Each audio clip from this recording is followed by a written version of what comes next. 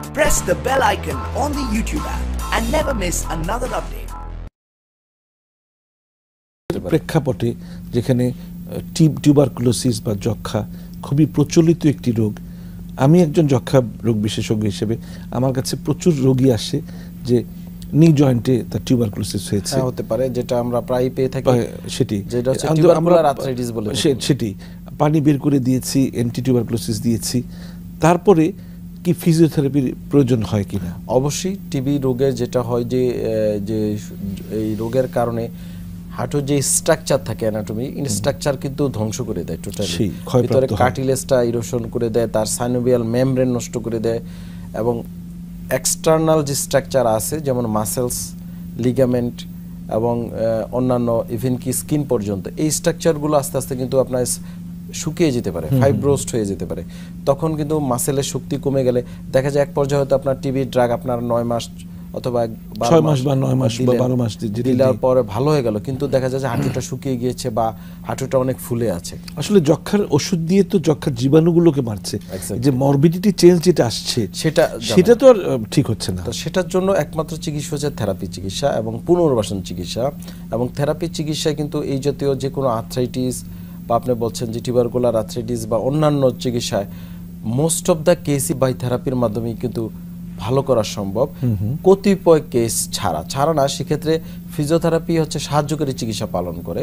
সাজের যদি cruciate ligament যেটা আমি বলছিলাম ইনজুরি জাতীয় সমস্যা হাঁটু খেলতে গেল মানে স্পোর্টসে যারা আছে তাদের হয়তো কোনো কারণে ইনজুরি হয়ে গেলো অথবা যে কোনোভাবে হোক আঘাত পেয়ে রোড অ্যাক্সিডেন্ট থেকে হতে পারে উপর থেকে পড়ে গিয়ে হতে পারে তো লিগামেন্ট ছিঁড়ে গেল। কমপ্লিট টিয়ার যদি হয় সেক্ষেত্রে আমরা এমআরআই করে কনফার্ম করি হাঁটুর।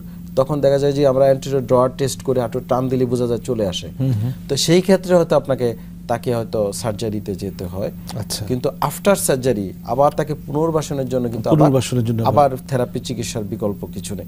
তো দেখা যাবে যে হাঁটুর যে কোনো সমস্যার নাইনটি নাইন পার্সেন্ট ট্রিটমেন্টই আপনার থেরাপি চিকিৎসা আসতে হবে। আমি আমার নিজের কথাই বলি আমি আঘাত পেলাম আমার এই বাম হাঁটুতে বেশ কয়েকদিন ভুগলাম আপনার আহ, শরণাপন্ন হলাম। আপনি আপনি আমাকে কতগুলো ব্যায়াম শিখিয়ে দিলেন। তো ব্যায়াম শেখানোর পর আলহামদুলিল্লাহ ভালো হয়ে গেছি। গরম পানির শেক দিলাম। তো এই- এই এই ধরনের ফিজিওথেরাপি কি অনেক ভূমিকা রাখছে হাঁটু ব্যথা দূর করা অবশ্যই এবং এটা অ্যাকর্ডিং টু রোগীর অবস্থা অনুযায়ী এক এক রোগের ক্ষেত্রে। যেমন হাঁটু যেটা আমি শুরুতেই বলছি যে হাঁটু হাড় ক্ষয়জনিত যে সমস্যা অস্টিওআর্থ্রাইটিস একেবারেই কমন এবং প্রতিটি মানুষ অস্টিওআর্থ্রাইটিসে ভুগবে যখন তার বয়স ষাট সত্তর গিয়ে দাঁড়াবে আচ্ছা। ন্যূনতম। তখন কারও ক্ষেত্রে হয়তো সে আর্থ্রাইটিসটা সে আরও পালে পালন করতে করতে সে হয়তো পঙ্গুত্ব বরণ করে আর কারও ক্ষেত্রে সে ট্রিটমেন্টে সে ভালো হয়ে যায়।